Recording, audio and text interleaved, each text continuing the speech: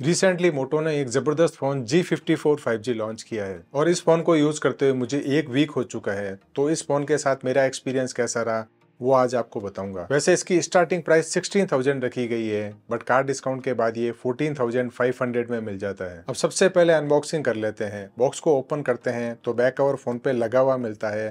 साथ में 33 वॉट का फास्ट चार्जर और यूएसबी केबल मिलती है। इसमें स्क्रीन कार्ड लगा हुआ नहीं आता है तो सबसे पहले आप टेम्पर ग्लास लगवा लेना। डिज़ाइन की बात करूँ तो ये फ़ोन एकदम सिंपल और मिनिमलिस्टिक लुक के साथ आता है। और इसमें 6000 थाउज़ेंड की बड़ी बैटरी है, फिर भी फ़ोन का वेट सिर्फ़ 192 ग्राम है।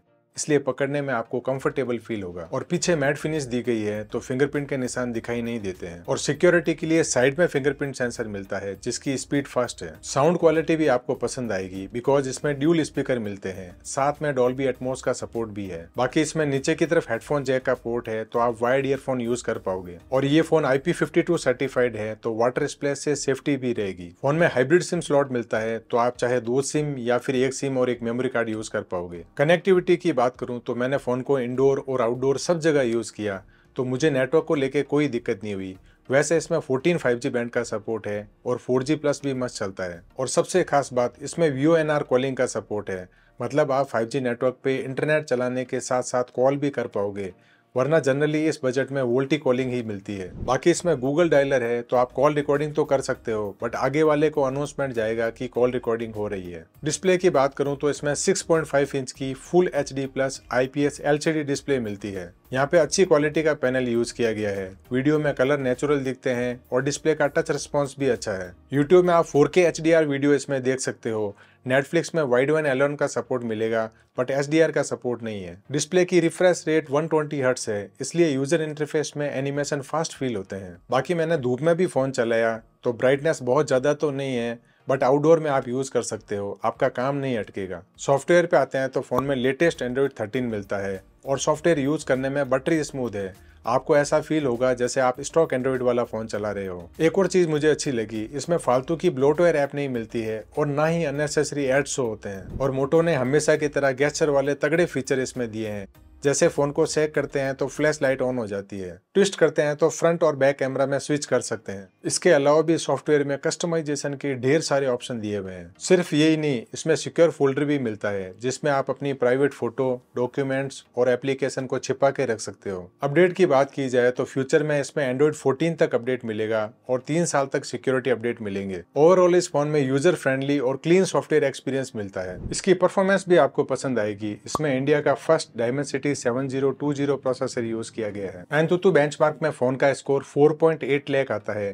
जो कि इस सेगमेंट के सबसे अच्छे स्कोर में से एक है। और रियल लाइफ परफॉर्मेंस आपको बताऊँ तो रेगुलर यूज़ में ये फ़ोन बिल्कुल नहीं अटकता है, क्योंकि इसमें मिनिमम एट जीबी रैम आती है, साथ में प्रोसेसर भी अच्छा यूज़ किया गया है। इतना ही नहीं, ये फ़ोन आपको अच्छी खासी गेमिंग भी करवा देगा। बीजीएमआई में 40 एपीएस तक गेमिंग कर पाओगे और गेमिंग में जायरो भी मस्त काम करता है। वैसे मैंने एक और बात नोटिस की, ज़्यादा देर तक गेमिंग करते हैं तो फ़ोन थोड़ा वार्म फील होता है। अभी ओवर हीटिंग वाली दिक्कत तो नहीं है बट ज़्यादा देर गेमिंग करने पे टेम्परेचर थोड़ा राइज होता है। कैमरा पे आते हैं तो फ़ोन में 50 मेगापिक्सल का मेन कैमरा और 8 मेगापिक्सल का अल्ट्रा वाइड कैमरा मिलता है। साथ में ऑप्टिकल स्टेबलाइजेशन का सपोर्ट भी है। तो इस बजट में अल्ट्रा वाइड कैमरा देना और ऑप्टिकल स्टेबलाइजेशन देना बड़ी बात है। कैमरा में मोटो ने इस बार काफ़ी इंप्रूवमेंट किया है।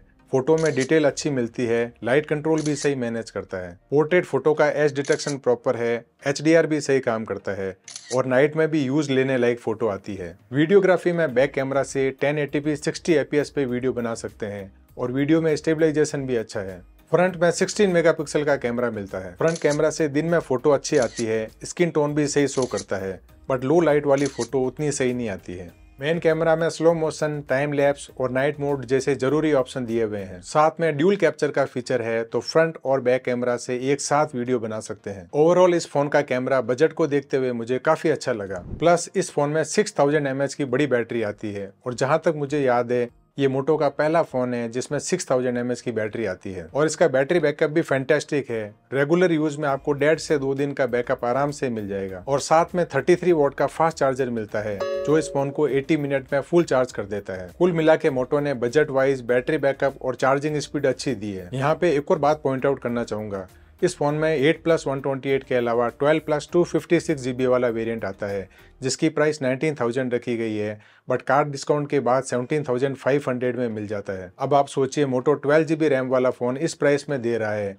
कितनी ज़बरदस्त वैल्यू फॉर मनी प्रोपोजिशन है। अब फाइनल ओपिनियन की बात करूँ तो इस बजट में मोटो ने प्रोसेसर कैमरा और बैटरी बैकअप काफ़ी अच्छा दिया है। और सबसे बेस्ट पार्ट है, इसमें स्टॉक एंड्रॉइड जैसा ही क्लीन सॉफ्टवेयर एक्सपीरियंस मिलता है। और पंद्रह हज़ार में जो स्पेसिफिकेशन ये फ़ोन दे रहा है, उसके बाद मुझे नहीं लगता ज़्यादा कुछ सोचने की ज़रूरत है। इसलिए अगर आप इस बजट में फ़ोन ढूंढ रहे हो तो इसको एक बार चेक ज़रूर करना। बाकी अगर आप चैनल पे नए हो तो सब्सक्राइब ज़रूर करना, ताकि फ्यूचर में ऐसे वीडियो मिलते रहें। चलिए मिलते हैं अगले वीडियो में। Take care bye bye